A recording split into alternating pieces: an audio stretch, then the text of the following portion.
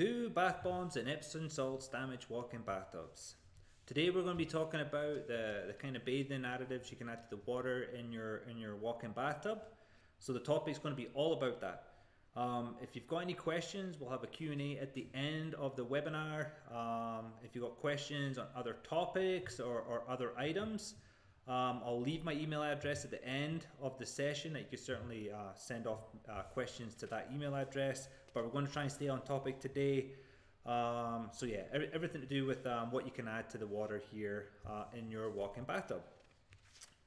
Uh, my name's Rory. I am general manager and one of the owners here at Safety Bath Walk-in Tubs, and I have been since 2011. And Safety Bath, we are a manufacturer and distributor of walk-in bathtubs. We custom water jet and air jet our bathtubs to, to for every order. Um, so we are fully aware of all the jetting options available to the bathtubs that you can put on them, being uh, Whirlpool systems, Pure Bubble systems, and all air jets from several different suppliers. So we do that all here in-house in Lethbridge.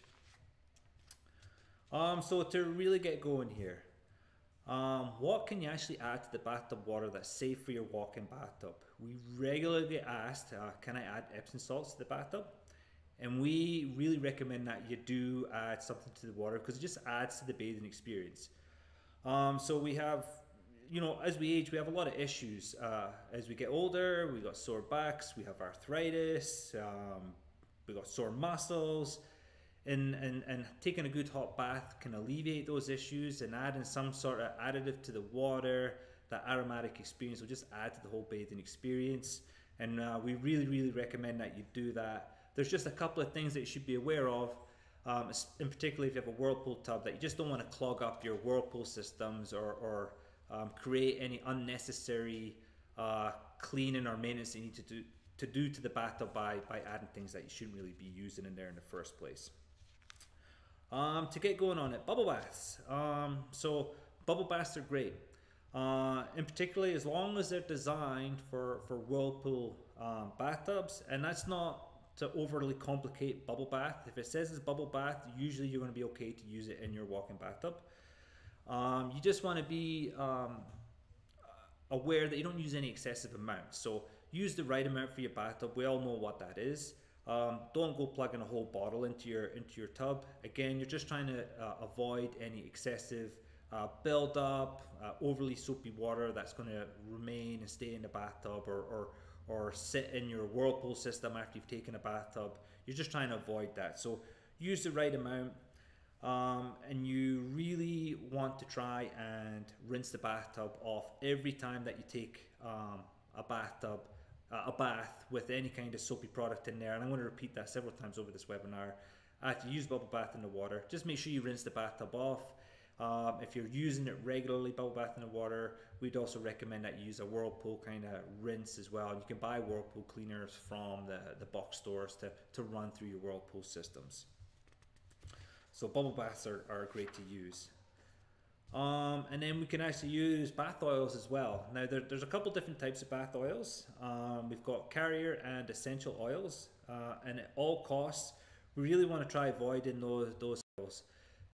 The reason being is carrier oils can actually leave a film. Um, so again, you're trying to avoid any buildup in water lines as well as your your whirlpool pump. So you, you don't want anything that leaves a residue. A film would be a residue. So just stay away from carrier oils. Uh, you don't want any clogging in your pipe or, or your plumbing there uh, behind the bathtub. Uh, examples of uh, a carrier oil would be almond oil, jojoba oil, and lanolin, lanolin oil, uh, and there'll be others out there as well. So just really ask the question if you're looking, if you're wondering what kind of oil to use, um, ask the question if it's a carrier oil or essential oil, and stay away from from the carrier oils.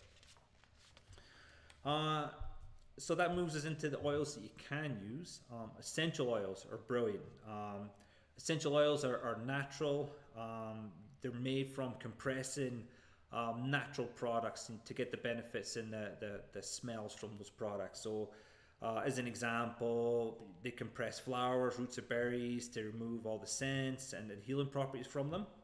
And the reason why an essential oil works in your bathtub is they evaporate. So if it evaporates from the water lines or your or your pump system, it's good. It's not going to leave any residue. But we still recommend like just rinsing your bathtub off after using them, just to be on the safe side. But they do evaporate, so it's going to avoid any kind of excessive buildup. Um, examples of uh, an essential oils are rose essential oil, bergamot essential oil, cedarwood oils, as well as turmeric essential oils. So these items would be good, good to use and safe in your bathtub. Bath bombs. So we've all seen bath bombs. You've either walked past a store in the mall, you can smell them a mile away. They come prefabricated shapes. Um, really fun. Um, you see them at Christmas time a lot. Yeah, I stick them in my kids' stockings. Um, and absolutely fine to use in your soaker bathtub. You don't want to use this if you've ordered your bathtub and you have a whirlpool system in it or any kind of pump system in it. The reason being is, is what makes bath bombs fun is they fizz and they have elements inside them um, glitters or, or oats, things like this, which are all natural.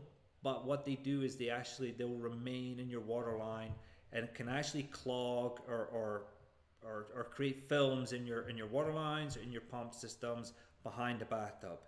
So really kind of stay away from any kind of bath bomb if you have a jetted bathtub, jetted water jet or, or air jet uh, style bathtub.